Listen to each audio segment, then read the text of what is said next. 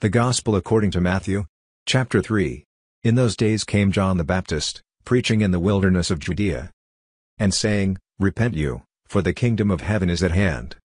For this is he that was spoken of by the prophet Esaias, saying, The voice of one crying in the wilderness, Prepare ye the way of the Lord, make his paths straight. And the same John had his raiment of camel's hair, and a leather girdle about his loins, and his meat was locusts and wild honey. Then went out to him Jerusalem, and all Judea, and all the region round about Jordan. And were baptized of him in Jordan, confessing their sins.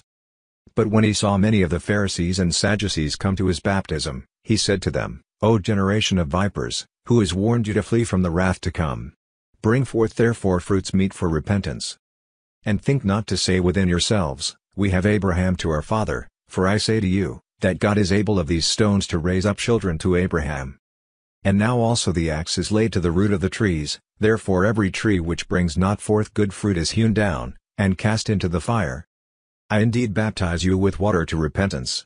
But he that comes after me is mightier than I, whose shoes I am not worthy to bear, he shall baptize you with the Holy Ghost, and with fire. Whose fan is in his hand, and he will thoroughly purge his floor, and gather his wheat into the garner, but he will burn up the chaff with unquenchable fire. Then comes Jesus from Galilee to Jordan to John, to be baptized of him. But John forbade him, saying, I have need to be baptized of you, and come you to me? And Jesus answering said to him, Suffer it to be so now, for thus it becomes us to fulfill all righteousness. Then he suffered him. And Jesus, when he was baptized, went up straightway out of the water, and, see, the heavens were opened to him, and he saw the Spirit of God descending like a dove, and lighting on him.